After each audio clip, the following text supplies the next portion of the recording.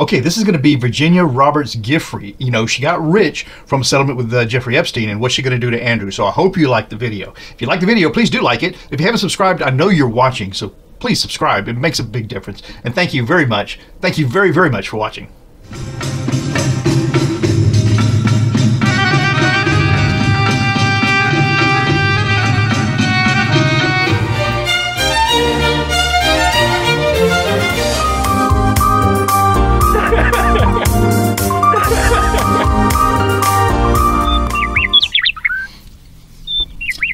Hi, I'm Marc. and This is my journey through tarot. Come on.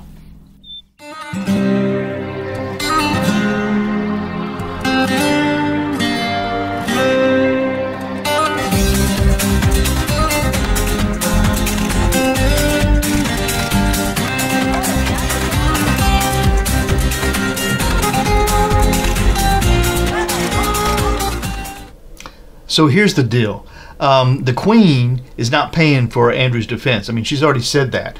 And uh, it looks like he's trying to sell that uh, chalet that he's got. So, you know, let's see what's going on. Is Virginia Roberts Giuffre uh, really going after the juggler? So, Le Grand Circus and Sideshow Tarot by Joe Lee. These are really terrific cards. They come in a very nice box. If you received them as a gift or gave them as a gift, you'd feel like, oh, that's a, that was a nice gift. And um, the cards themselves are really nice. Um, they're done in the style of sort of circus posters.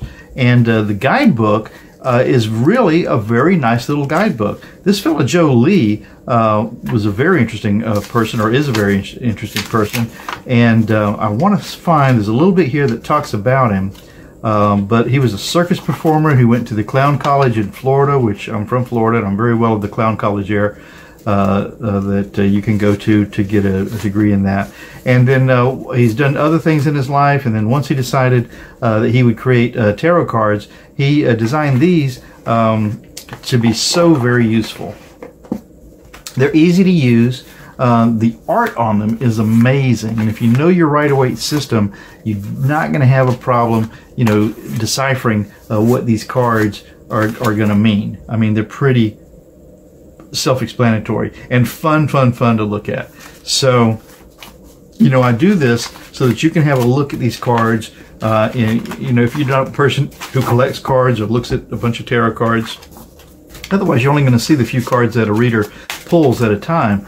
And uh, I think it's just you're missing out on a lot. So, you know, this uh, Le Grand uh, Circus Sideshow Tarot, I love using these. Okay, Prince Andrew and Giuffre, but let's take a couple of seconds just to meditate.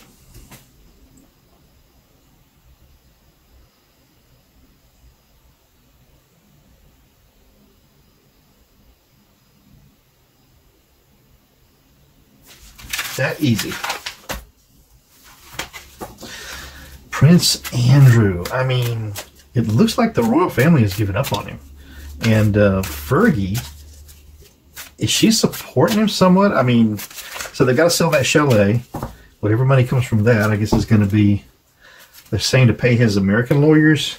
I don't know.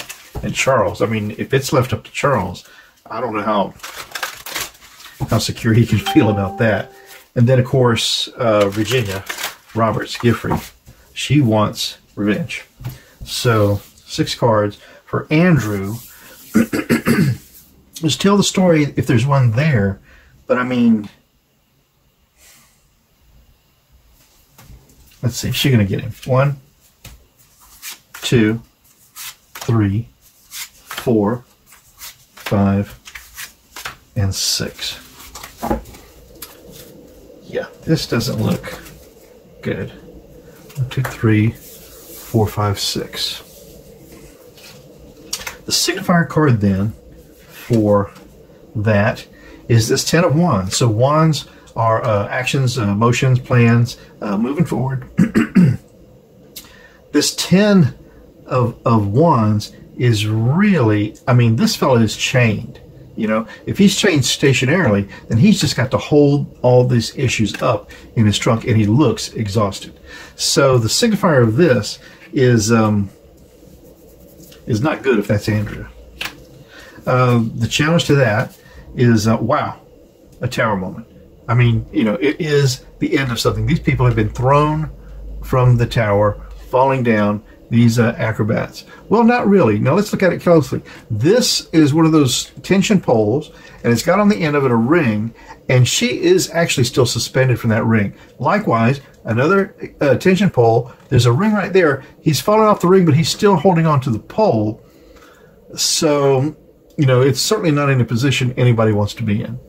So this weary uh, uh, elephant, as the signifier, is challenged by that this, it looks like you're going to drop it. That's what's going to happen. The uh, base of this reading um, with this five of wands is just pointless uh, arguing amongst people. This isn't deadly, but it's annoying. It's not uh, getting a thing done, and it's just the most uh, yeah. So this is um, pointless arguing. So the base of the reading is the pointless arguing of this case. Interesting. The past of this then, with this ace of coins, look, you come into this with that much value, okay? You know, this isn't a big, big platter, a huge offer of an amazing amount of value. No, you came in with that much. And uh, you've not done yourself any favors. Uh, this is Andrew. In the sky this reading uh, is the Emperor.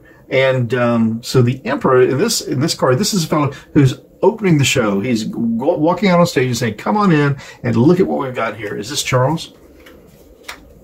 And then the um, hopes and fears for the first part of this, or sorry, the uh, final likely outcome, is uh, the uh, King of Swords. So the King of Swords in this uh, uh, deck and uh, remember that the swords are truth, justice, rules, law. And this guy is is a performer. He's like the guy outside calling into the tent. Um, so yeah, but he's the king. I mean, he gets this done. He gets people in that tent to watch the show. So if this is Andrew, and we're trying to find out, you know, what's the worst that's going to happen here with this Virginia Giuffre thing? It, it's a heavy load. It's a pending disaster. All this arguing when he had so little value to begin with. His brother is getting ready to open the act, and um, and with this King of Swords, you know, I don't know. Why do you want to bring anybody else to this sideshow? That's the only thing I can think of. Um, the last four cards, the and I'm going to try to put them up this way. The last four cards, the um, self of this whole question about Andrew and Giuffre is the Wheel of Fortune. Wow. Wow is it actually that uh, tenuous? Uh, that's in the environment of what? That's in the environment of the Knight of Cups. Well, at least the Knight is a fighter. This guy is holding on to a cup of compassion, emotion, uh, but he's he's come off the wire to tell you the truth. So this Knight uh, is you know trying to find get through his act. Uh, you know this emotional com- situation is. Um, wow, is the environment that this Wheel of Fortune is in. So that's not good. Um, the hopes and the fears then with this ace of swords okay look at what a much more imposing ace of swords is than this was an ace uh, of coins so the, another offer swords truth justice rules law oops that's exactly what he doesn't need to come forward but it looks like that is what's going to come forward. And then the likely outcome of the whole thing uh, right here wow this eight of swords truth justice rules law just really surrounded by that and feeling imprisoned but you know what? We all we know this person isn't. This isn't real. These uh, knives in this act pop out of the back of this thing. Nobody really throws them at this person. She's never been in danger, but she doesn't necessarily know it. Look, she's blind, bound up, blindfolded. Does she think that this was the real thing, or is this Prince Andrew knowing he can get out of it? So that's pretty interesting. Uh, just talk about it quickly again. So with the ten of uh, wands as a signifier, this is that heavy load. It was going to be a disaster. The arguing doesn't help. He had diminished himself so much ahead of time, and Charles is on his way in to start the show. Then we've got this King of Swords saying, who is this though? Swords of truth. Ah, the truth is telling you, come on in and see what's going on here. Well, it's just uh, in, in the karmically, the truth is saying, you know, it's a show. You might as well come in and see it. You won't be sorry.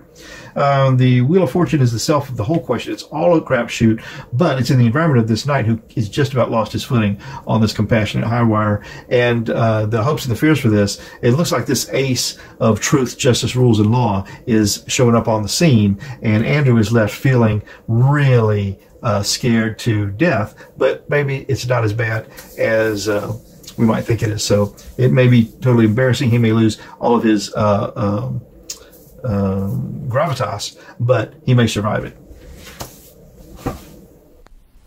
I'll say it every time. The cards just don't lie. So that's what the cards tell me. But I'm not sure how you're feeling about all this. So let me know. Put something in the comments. Also, if you let me know what you want me to read on, that's what I'll read on. Otherwise, I'm just taking a stab in the dark. So, but anyway, I hope you did enjoy that read. I'm Marc. My journey through tarot. Tomorrow's another day. Stop by. We'll do it again. Ciao for now. One, two, three. You really make a big difference. Thank you.